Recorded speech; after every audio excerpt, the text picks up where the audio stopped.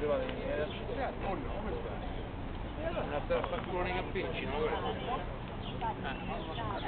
Qual è la, io non capisco qual è la violazione dei diritti. Si sta consumando qui una violazione dei diritti? Massimo Converso ha detto questa mattina che sono stati violati i diritti perché si ha, ci ha avuto atteggiamenti aggressivi e violenti da parte delle forze dell'ordine. Clemente stava con me, testimone, è andato là e ha detto guardate, dovete andare via da qua, non hai, non hai usato i mani, ha fatto un cazzo, ma non ho capito io, ma che questo sistema? Ma che cazzo è questo sistema ragazzi? Come si permette alla gente di parlare peraltro quando non c'era nemmeno? Di Massimo Converso questa mattina qui non c'era.